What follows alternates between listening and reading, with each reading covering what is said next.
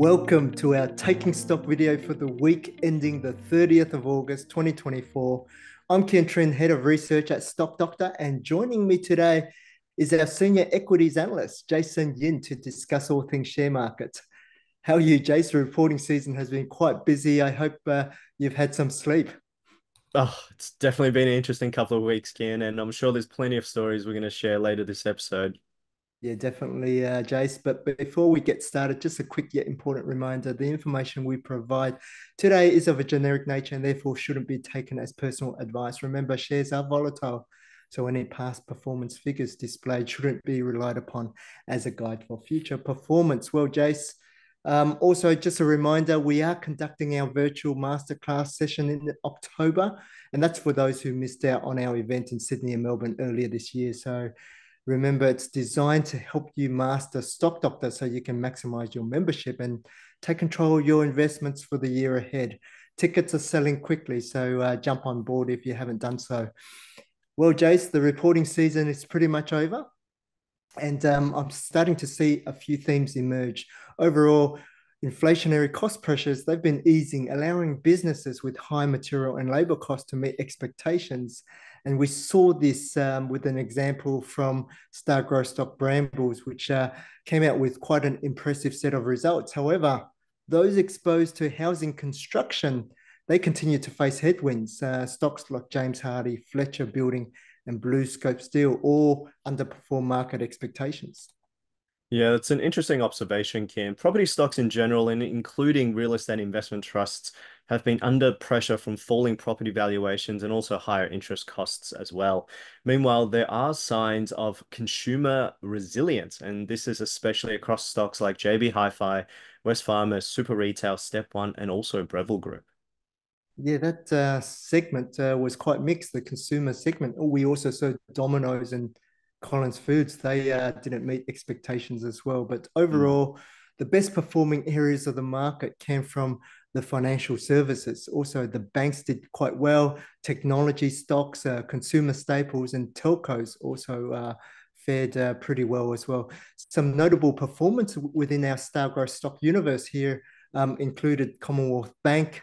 We had WiseTech, Pro Medicus, Hub24, Challenger, Computershare, Telstra, Woolworths, and Coles, they all did quite well this reporting season. And also mentioned last week, the outlook guidance overall has been increasingly cautious leading into the FY25 earnings downgrades of around 5% across the board. This means that the earnings growth expectations for the market this financial year is forecast to grow around 3% compared to expectations of 8% growth prior to the start of the reporting season you can see on the chart on screen, and this compares the earnings growth projections broken down into the high-level sectors. Notice how banks had a positive earnings revision, while resources fared pretty worse, with a lot of those earnings expectations being revised downwards. And that's a very interesting chart, Jace, showing how earnings growth forecasts have pulled back for most sectors over the reporting season and confirming that disconnect between fundamentals and share prices at the moment. But let's turn now to some of our star stock highlights for this week. Um, an interesting stock to make waves was tourism operator Kelsian Group, KLS is the code. The stock was sold down after it missed market expectations, and the company has been dealing with rising operational costs and a slower than expected recovery in its tourism markets. Investors are also worried about the potential impact of higher interest rates on its debt levels as well, which could squeeze margins even further. So, what should potential investors do now with this stock? Yeah, it's uh, Kelsian has been a, a tough call, Kien. Um, if investors are trend sensitive, then you'll need to perhaps sit on the sidelines, given that it has breached the SD30 TSR. Uh, however, for those looking at this stock as a potential opportunity, perhaps wait for our analysis because it's still under review right now, and we're still trying to measure up to see if it can actually satisfy our style growth criteria. Yeah, um, it's important that we're assessing those metrics, uh, Jace, uh, with earnings revisions coming down and net profit margins quite slim. Investors will need to be cautious here. Let's um, now shift gears to salary packaging business, McMillan Shakespeare. The stock has been on a bit of a roller coaster ride lately following their results. What's driving this volatility? Well, there were a lot of moving parts in the McMillan result, Kien, and, and it's always quite difficult to, to analyze. Um, the company posted a pretty solid earnings update. There were some concerns around the sustainability of this growth, particularly in its salary packaging and novated leasing segments. Uh, investors were also a little bit rattled by management's cautious outlook, which hinted at potential headwinds for regulatory changes and also competitive pressures in the space as well.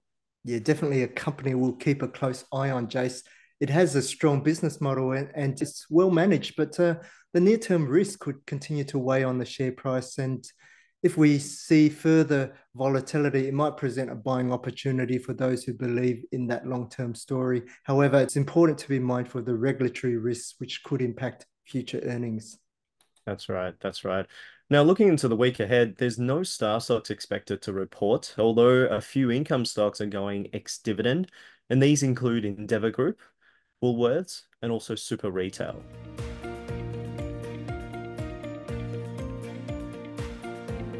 In Under the Microscope this week, we take a closer look at online lottery reseller and platform operator Jumbo Interactive. The code is JIN. This one's been a hot topic lately, Jason. You've been following it very closely. What's the story here? Well, Jumbo Interactive is quite an interesting case, Kien. As an online lottery reseller, it's been labeled a growth stock due to its ability to scale its platform and also capture more market share. However, recently the stock saw a pretty negative share price reaction after the release of its guidance, which came in below market expectations. And this led to a raft of negative earnings revisions, with the market now questioning whether the company can sustain its momentum over the short term. Yeah, that's uh, definitely concerning, Jace. Growth is now expected to decline to be negative this year, with return on equity also uh, falling to about 38%. Are there any drivers that can help the company recover from this? Yeah, there's a there's a number of drivers that that management can can actually enact or, or action here. Um, while the negative earnings revisions have dampened expectations, Jumbo still has a lot of growth potential, particularly through its international expansion and also its platform services division. However, investors need to temper their expectations and be prepared for slower growth rates in the near term. And this is because the FY24 period had one of the largest record periods of large jackpots, and these large jackpots being those above $15 million. So that means on a mathematical level, the probability that we'll see the same number of jackpots or even a higher number of jackpots in FY25 is relatively low, which prompts a bit of normalization in terms of the frequency and also the overall impact on lottery ticket sales. The other one to be mindful of is that the key growth avenue lies in the company expanding its reach on the online lottery space. And this is especially markets outside of Australia and also in enhancing its technology platform to capture more of that business to business clients as well. Yeah, there are some strong growth avenues there, Jason. This could potentially lead to that recovery in earnings growth, as we can see under financial year 26 in Stock Doctor. And if we can focus on the dividends now, with free cash flow expected to decline, uh, should investors be worried about the sustainability of that dividend yield currently at around 5.7%?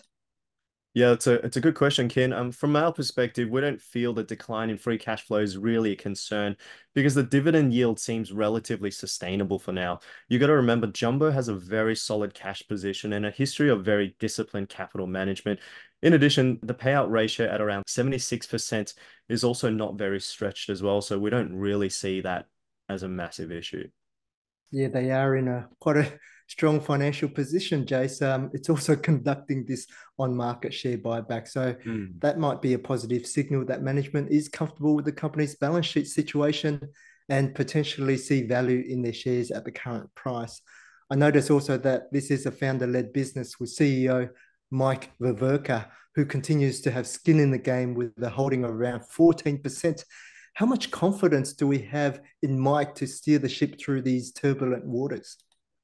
Well, Mike's had a really solid track record. He's built the company from the ground up and has a real deep understanding of the business. And I feel like that's a major asset to the firm. Hmm. However, much of Jumbo's earnings are beyond his control. So, for example, Mike cannot control the frequency of large jackpots and when they happen. And also, it's pretty difficult when you're up against a, a gambling heavyweight such as the the Lottery Corp because the renegotiated fees that occurred during the ownership of Tabcorp and how much they, they could charge on, on these lottery tickets. But what he has been able to achieve, Kien, is achieve international expansion, particularly in the UK and also in Canada, as well as the development of that SaaS business and SaaS platform, which has been able to generate income by licensing the lottery software to charities and also government organizations, which has been a, a real positive for the company. Yeah, hopefully that will uh, come through with more growth in the future. But the stock is now trading at a discount to valuation, and this could represent opportunity for investors who are confident in that growth profile of the business, but also understand the risks.